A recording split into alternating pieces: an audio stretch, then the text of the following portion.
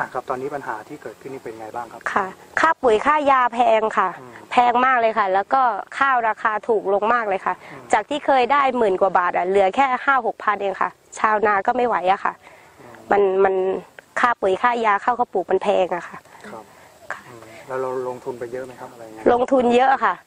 อืมนาของหนูอะสองเส้นสองเส้นยี่แปดไร่นาเช่าด้วยนาบ้านด้วย อืมลงทุนไปหลายหมื่นค่ะ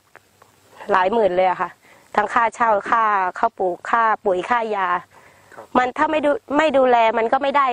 ไม่ได้ผลผลิตอะค่ะ อืมครับก็ต้องดูแล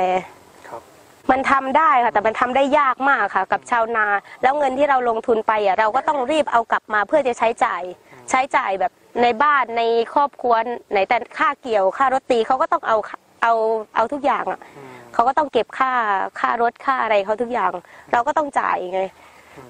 มมันก็ลำบากอะค่ะ ครับ แล้วปัญหา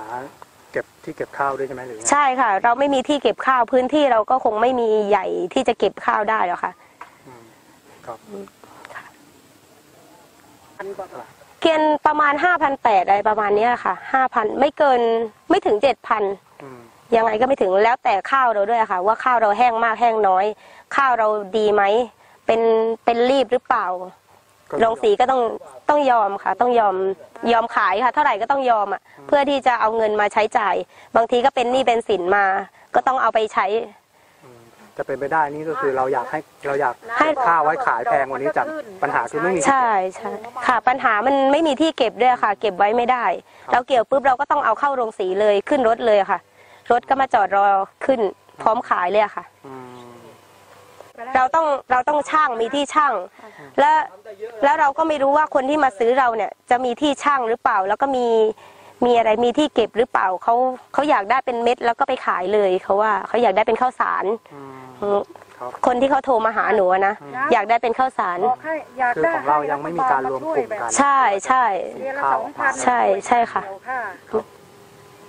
อ่าครับ ตอนนี้ทะเอ่อคุณป้านี่ทำนาทั้งหมดกี่ไร่ครับหกสิบสามไร่ อ่าปัญหาที่เกิดตอนนี้มันคือปัญหาที่เกิดตอนนี้นะ ปุ๋ยยาแพง อืมข้าวถูกครับนะ แล้วก็แบบว่า ข้าวถูกไม่แบบว่าปัญหาตอนเนี้ยอยากให้รัฐบาล ช่วย ไอการไอช่วยข้าว อืมให้ราคาสูงกว่านี้อืมครับ นะไอสูงกว่านี้แล้วก็แบบว่าราคาเนี่ย ไม่เหลือเลยเหลือไร่ละสามสี่ร้อยบาทอืมอ่าอย่างคุณของคุณป้าเนี่ย ต้นทุนในการทำต่อหนึ่งไร่เนี่ยประมาณกี่ต้นทุนในการทำทั้งทั้งค่าเกี่ยวค่าตีอืมค่าไอ้นั่นค่าข้าวปลูกตกไร่ละสามพันห้าครับอ่า อืมตกไร่สามพันห้าแล้วเกี่ยวข้าว ได้ไร่มันไม่ได้เกียนน่ะ อืมนะไร่ไม่ได้เกียนก็เกี่ยวข้าวได้สี่พันกว่าบาท อ่าแล้วเหลือพันกว่าบาท ครับแล้วก็เช่านาอีกอืมไร่เป็นพัน อืมครับ ก็เนี่ย อยู่ยากแค่อยู่ยาก อืมครับอืมแล้วอย่างนี้ เราก็ต้องรีบเกี่ยวด้วยไงตอนนี้ตอนนี้ต้องรีบเกี่ยวบอกข้าวมันสุกแล้วต้องรีบเกี่ยว อืมครับไม่รีบเกี่ยวแล้วมันก็เสียหาย ครับ เสียหายแบบแบบว่ามันมันงอ